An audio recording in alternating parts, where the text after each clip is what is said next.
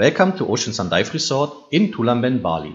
My name is Ricardo and today I would like to introduce you to a new diving device from Mares. It is the Horizon, a semi-closed rebreather that was specially developed for recreational divers. Janos is here by my side because he wants to take the SCR Horizon course and has a few interesting questions on this topic. Together, we will take a look at what makes the Horizon so special and what advantage it has. Besides, we also want to show you the most important components and prepare the horizon for a dive. Janos, before we start, please share with us what interests you in the horizon. Yes, of course. The reason why I'm curious about the horizon is the promised longer diving time. Mares also speaks of a revolutionary approach, and I'm very excited to see what this new technology is all about.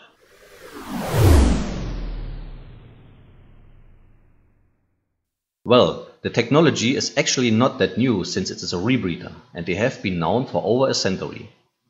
In 1884, the Popular Science, a renowned magazine with the scientific community, mentioned a successful diving operation with a rebreather that had been developed by Henry Albert Fleuss.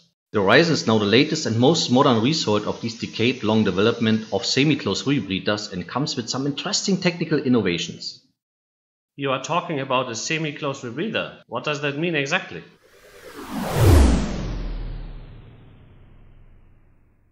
A rebreather is a circuit system in which the air circulates through our breathing. There are two types. If we do not lose any air, we talk about the closed rebreather. A semi-closed system, however, releases some air from the circuit into the environment.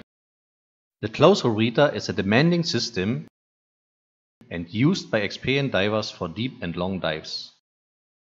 A semi-closed rebreather is less demanding and you can start your training with less experience. The Horizon only requires 24 locket dives as well as the Nitrox and the deep diver specialty.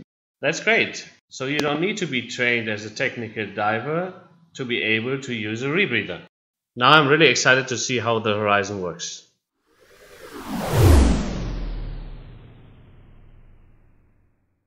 First of all, let me explain the basic function that make a rebreather stand out. A rebreather is actually not much more than a plastic bag from which we breathe. Well, I hope the horizon is a little better than a plastic bag. Yes, of course. Here we only see the storage and the circulation. Breathing moves the air, which describes the circulation. This circulation takes place between the lungs and the plastic bag, and we do not lose any air to the environment, which then describes the storage. Yes, that makes sense. What are the other two functions? That's the extraction and addition. As is well known, the body burns oxygen during the metabolism and produces carbon dioxide. We now have to purify the air in this cycle of carbon dioxide, which describes the extraction. Finally, of course, we should also replenish our used oxygen, which is nothing more than the addition. We do have the horizon here. Could you show me in detail how it works?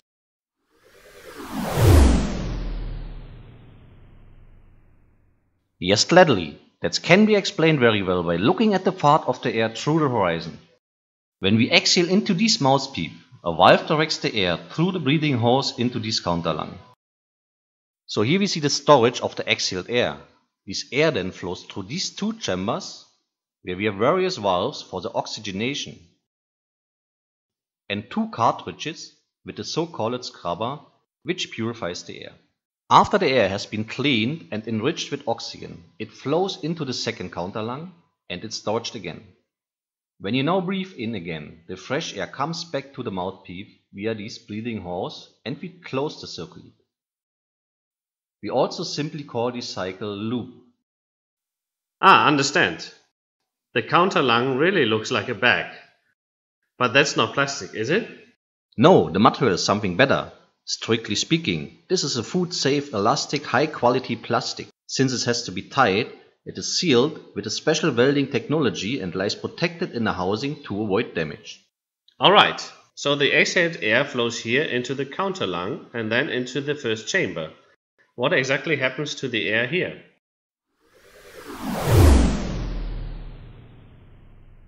Here we place the first cartridge with the scrubber. As a result, the air has to flow through the scrubber from the bottom to the top and the carbon dioxide is absorbed from the air by a chemical process. I have a full open cartridge here where you can see what the scrubber looks like. The scrubber or lime is a fine-grained granulate and it's specially designed for use in rebreathers. With Horizon, each cartridge holds about 1 kilogram. But why do we have two chambers here, so two cartridges? There are two reasons for this setup. One of Mares' targets during the development was to achieve low water resistance. The two chambers allowed a reduced height of the horizon and a streamlined design could be implemented. The second reason is security. The problem with scrubber is that we cannot measure or see when or if it is saturated with carbon dioxide. It does not absorb the carbon dioxide evenly, but saturates first at the point where the axial air flows in first. A time frame limits the use and tells us when the lime in the first cartridge is saturated to two-thirds. We then change the lime because full saturation would be far too dangerous. Because of the distribution we only change the scrubber from the first cartridge. The second cartridge with fresh lime then serves as a security in the unlikely event that we exceed the time limit and the first cartridge is fully saturated and can not longer absorb carbon dioxide. Where do I see how long I can use the lime? You can see that on the integrated controller from the Horizon, which monitors all systems. Please have a look at the display. Down here at the right bottom we see a time. I have refilled the first cartridge today, then resetted the scrubber settings in the controller and can now use this lime for 3 hours and 34 minutes. Okay, you said we are going to change the first cartridge. Aren't we changing the lime in the second cartridge?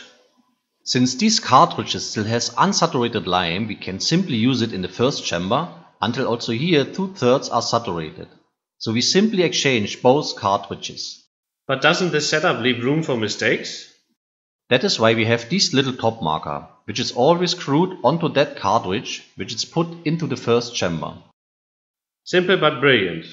So how does the addition work?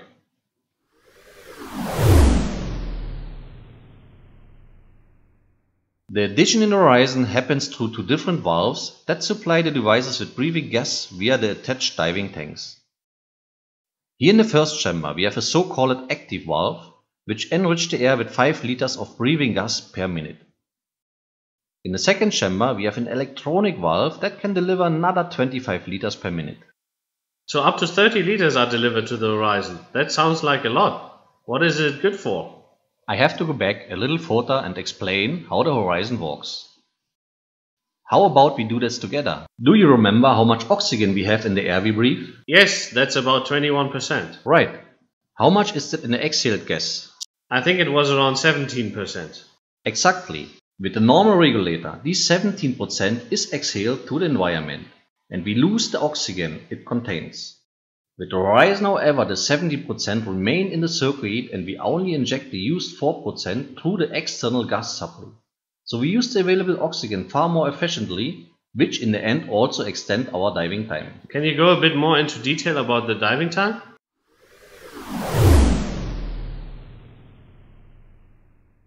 Sure. With the normal regulator, we inhale let's say 50 liters of breathing gas per minute, but we also exhale all of it. With the used tank size and the planned depth, we can now calculate our diving time. With Horizon, we also have 15 liters per minute of air consumption. But thanks to the circuit, we use the oxygen in the existing air several times and then see how much oxygen we have to replace in order to maintain a breathable gas of at least 21%. So the first thing I need to know is how high my oxygen consumption is and then I can calculate the required air supply. With the air supply, the oxygen content and the tank size of the external gas supply, I can now calculate the diving time.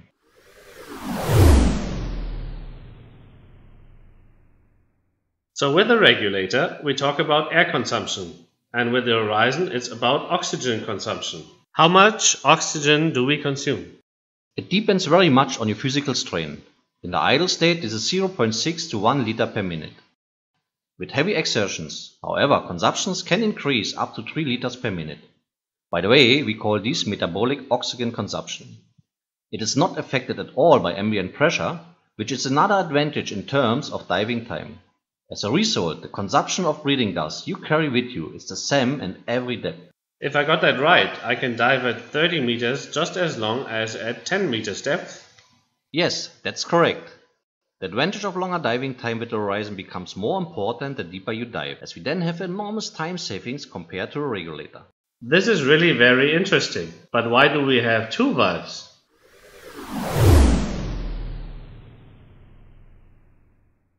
Let's take a closer look at the position of the valves. The active valve, which delivers 5 liters per minute, is located directly after the first scrubber cartridge. So there's a constant enrichment of the air here. The air then goes to the second chamber, through the second cartridge into the area where two sensors analyze the breathing gas.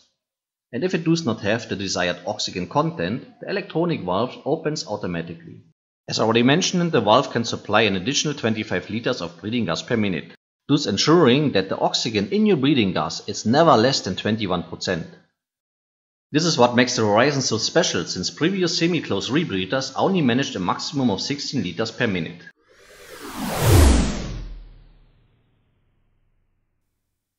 I see we have two tanks here. One of them appears to be nitrox. Yes, a breathing gas with at least 30% oxygen content must be used. When I show you some calculations later in the course, you will see that with 3 liters per minute of oxygen consumption, which means we have a heavy physical exertion, we need AN30 in order not to fall below the minimum permit value of 21% in the horizon. Ah, okay, which means that the amount of oxygen in the horizon is less than in the tank. Yes, that's true. The breathing gas from the tanks is injected into the device via the valves and they are mixed with your exhaled air. So it has to be less. We can determine the nitrox value in the horizon ourselves by setting our controller which controls the air supply with the electronic valve. The nitrox value in the horizon is our set point. We will take a closer look at that later when we are assembling it. What about the power supply for the horizon? Where is the battery located?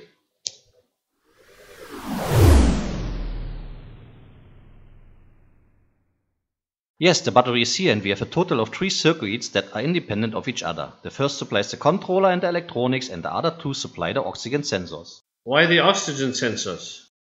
The sensors measure the oxygen through an electrical current. I explain exactly how it works later in the course. For safety reason, each sensor has its own supply. And I see we use two tanks for external gas supply.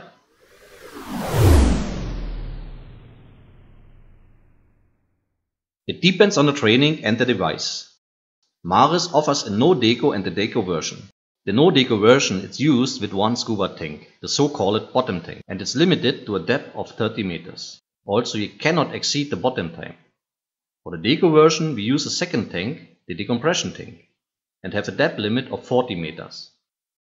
With the second tank we are allowed to do 25 minutes of decompression, so we can exceed our bottom time for a certain period. And how do we assemble all this now? I would suggest that we do that together now. Agree? Agree.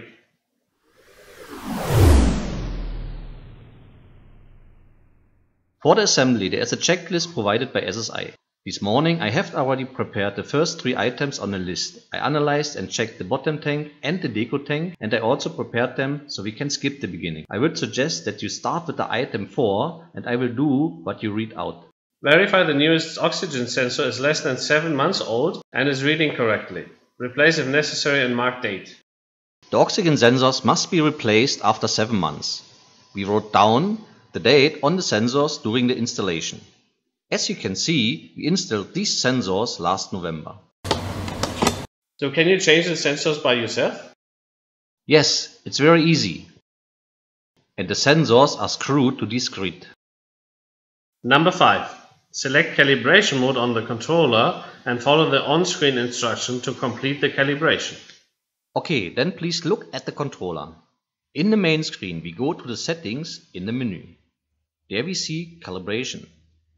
We select this item, the controller now tells us to take the grid with the sensors out of the chamber. We need to confirm this. Now we need to push a button. Take a look here Janos. It is this button in the second chamber directly at the electronic box. We push and hold it down. The system now checks the voltage at the sensors. Okay, the controller tells us that everything is fine. And the next please. Okay, number 6. Install the sensor grid and verify the cable routing is correct. Here we put the grid back into the chamber and make sure that it sits correctly so that the lime cartridge will fit well into the chamber afterwards. Next item. Number 7. Inspect the remaining time on the scrubber material Refill with fresh scrubber material if necessary. We already did that and we had 3 hours and 34 minutes of diving time on the line. Number 8.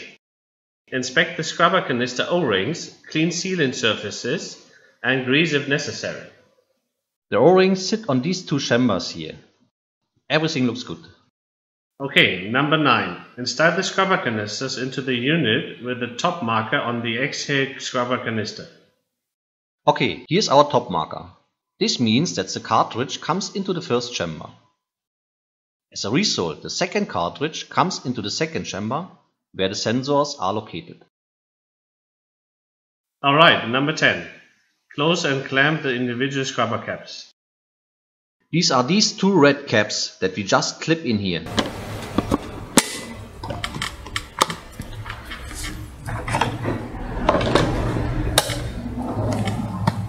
Check again if they are sitting correctly. Okay, that's fine. We also close the battery compartment.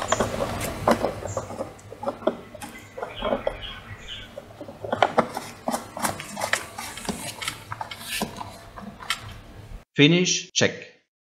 Number 11. Verify that the battery level on the controller is greater than 30%. To do this, we check the controller again and select the information on the right. Confirm twice and we can now see the charge level of E1, the first sensor, E2, the second sensor and DC, our controller. Number 12. Close and secure the main cover. That's a simple click system. Hook in here and snap into place on the other side. Please be careful. Do not close by force and check whether the look is properly engaged. This looks good. Check next item please. 13. Inspect the non-return mushroom valves in the breathing loop mouthpiece. Inspect the mouthpiece and O-rings on the breathing loop, clean sealant surfaces and grease. Okay, let's take a closer look at everything. The non-return mushroom valves are designed to ensure that the air only flows through the circuit in one direction. One side lets the air in and the other side let it out. We can verify this very easily by putting this lever on the loop. We now hold the opening from the breathing hose to our cheek and in and exhale through the mouthpiece. As you can see, one end has an overpressure and the other sucks onto the cheek with an underpressure. That means that the valves are okay, O-rings looks good. Next item please. What does this lever do? We haven't talked about it yet, have we? Not yet. A normal regulator is integrated in the mouthpiece and we can use this lever to switch between the loop and this regulator. This simple switch option is a further improvement to other rebreathers and offers a quick solution in the unlikely event of a bailout. Bailout? Bailout describes a procedure that we can use in an emergency. In the event of a problem with the rebreather, we flip the level and receive the breathing gas directly from the tanks. So we do not have to take the mouthpiece out and we do not need to switch to another system. Alright, yes, that makes sense. Then continue with the check. Okay, number 14. Install the breathing loop onto the unit. Install the low pressure hose to the bailout valve and ensure that the locking mechanism is in place. Okay, this is the low pressure hose that powers our bailout valve. We check if the screw connection is tight. The ends of the breathing hose and the connections are color coded. This way we will not mix them up. Just plug it in and snap into the place.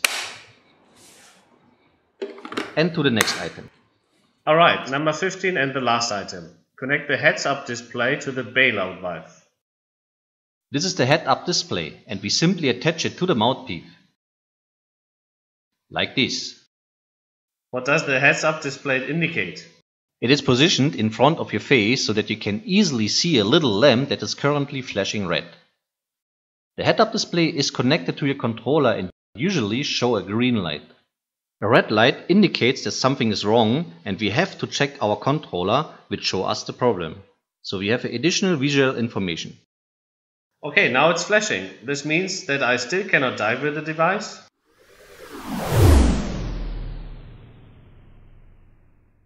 No, we still have to complete a second checklist. This is a closed check. Let us do it on the same way. You read the steps and I check if everything is okay. Okay, this is how we do it. Can we start? Yes. Alright, number one. open the bottom cylinder valve and verify that the pressure is appropriate for the planned dive. Then close the cylinder valve and depressurize the regulator. Here we have our bottom tank. I open the tank. We have 200 bar tank pressure. I close the tank and I release the pressure with the purge button. Perfect. Number 2. Open the decompression cylinder valve if used and verify that the pressure is appropriate for the planned dive. Then close the cylinder valve and depressurize the regulator. So here's the decompression tank. I open the valve again. We have a pressure of 200 bar on the tank. I close the valve and again release the air with the purge. Number 3.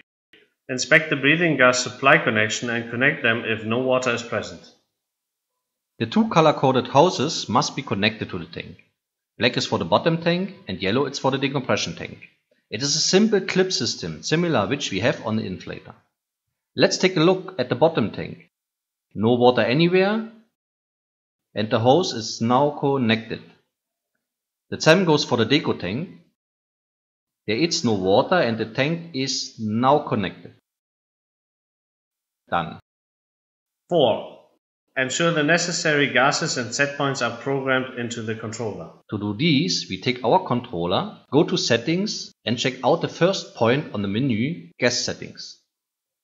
First of all, we enter the nitrox value of our bottom tank and in the second step, select the associated set point. After confirmation, we scroll down and select the setting for the deco tank. What is important here is the first option where we can switch off the deco tank in case we are not using one. Then we set the nitrox value of the deco tank again and choose our set point. We confirm that on our controller and our controller is set. Please read out the next item. Number 5. Verify the battery shown on the controller is greater than 30%. We already did that too, but briefly again it's a repetition. We look at the controller, go to info, confirm twice, and now we see our charge level. Everything over 30%. To the next item please. Number 6. Verify the overpressure valve is functioning properly. This is the little white valve in the first chamber. Here the horizon releases the air when there is too much pressure. To check this, we now create the overpressure in the device. The lever must be placed on the loop and now we breathe in through the nose and out through the mouth into the mouthpiece. Wait a second, this is how it works.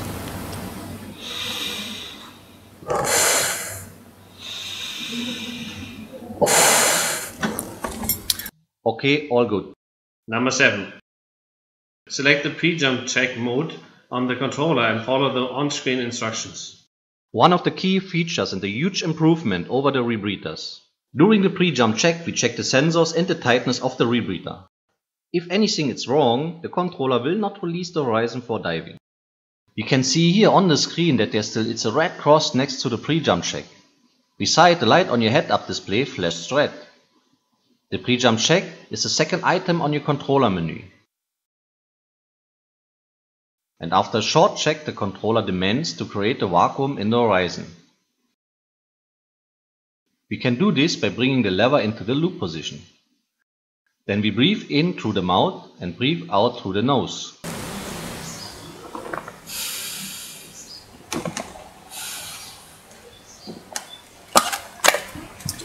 We confirm this via enter and now the horizon checks if the vacuum stays stable.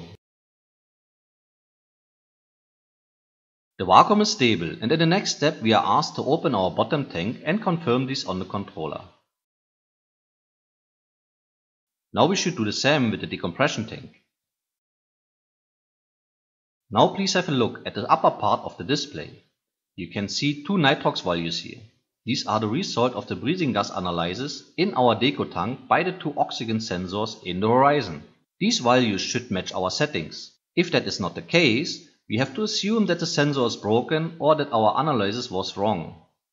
The pre-jump check then terminates the process and the horizon remains locked. Everything is fine with us today and we should now close the decompression tank and confirm again. Now the breathing gas flows from the bottom tank into the horizon and it's analyzed again by the two oxygen sensors. As you can see, we also have a match with our settings here. Now we are asked to start breathing. We put the mouthpiece in our mouth and breathe in and out normally with the lever on the loop position. Do not forget to confirm and breathe until the controller reports that the sensors are OK. We now see on the main screen that the pre-jump check was successful and is now marked with a green tick. And please take a look at our head-up display. Now the light is green. Number 8. Completely inflate the wing and verify that it holds its volume. This is the inflator, which works just like the ones we all know from our BCs. Inflate fully, wait for a moment, check if the wing release air, everything looks good, next point. Number 9. Breathe in any gas from the loop to verify that the auto delivery valve is functioning properly. We find this valve in the first chamber. It opens when there is under pressure and adds breathing gas to the horizon. We test it just like we did with the vacuum test. We breathe in from the mouthpiece and out through the nose. Since our bottom tank is now open, the valve provides additional air, thereby avoiding negative pressure in the device. Everything is fine. To the next point please. Number 10. Close the cylinders and switch off the controller. Bottom tank is closed. Deco tank is closed. We switch off the controller in the menu. At the bottom, we have the mini item switch off. Confirm, and the controller is switched off. Cool, the last item, number 11. Inspect the harness, cross strap and gag strap for the rear and here, correct positioning and proper attachment. We have the same quick releases and setting options here as on a usual ring. How this all works in detail I show you later in the course. Okay, the checklists have been worked through, so we are ready to dive. Yes, the horizon is ready and we could start. But the preparation is a bit more complex than with a normal scuba tank. Yes, it requires more preparation, but it also gives us the benefit that I don't want to miss anymore while diving. Exactly. We already discussed the longer diving time, but what do you especially like about the Horizon? The breathing resistance is lower compared to the regulator, and the cleaning of the air with the scrubber has the nice side effect that it is not so dry and always slightly warmed up. This way we don't cool down that quickly. Even if there's some bubbles, I personally like the silence. Okay, now I just have to do the course. How long do I need for this? You choose the Deco version and it will take us 4 to 5 days. In addition to the theory and the pool, we will do 6 dives with the Horizon. By the way, in the no deco version, we need 3 days and 4 dives to complete the course. Great, then we have everything now and can start the course tomorrow. Yes, we can, and I would say we meet tomorrow at 9 am. Yes, sounds good. I hope you enjoyed the video and aroused your interest in the Horizon. Please share the video with your friends, give us a like, and follow us on our YouTube channel. All relevant links can be found in the description and I would be very happy if your next vacation takes you to Bali and you visit us here in Tulamben, be it for the SCR Horizon course or for dive on the Liberty Wreck.